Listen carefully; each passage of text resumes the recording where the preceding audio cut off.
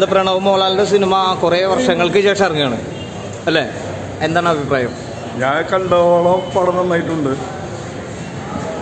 ഇതൊരു പുതിയ പുതുമുള്ള സിനിമയാണ് അത്.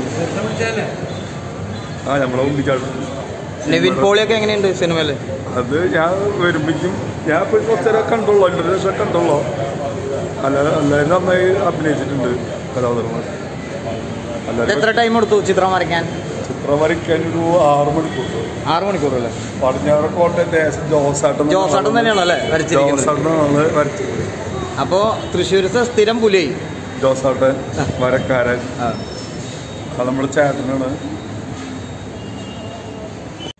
നമ്മൾ രാഗം തിയേറ്ററിൽ നമ്മുടെ സൂര്യ ചേട്ടന്റെ വേണ്ടിയിട്ടാണ് നമ്മൾ കലാരൂപം ചെയ്യുന്നത്.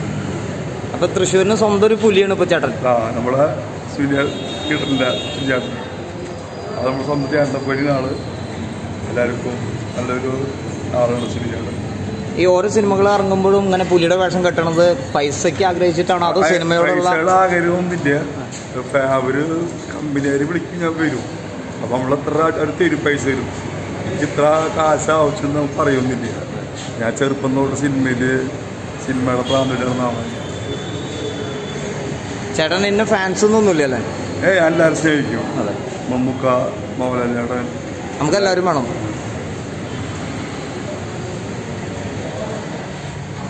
ചേട്ടന്റെ പേ ചേട്ടന്റെ പേര്? എന്റെ പേര് Dasan. Dasan. Thank you thank you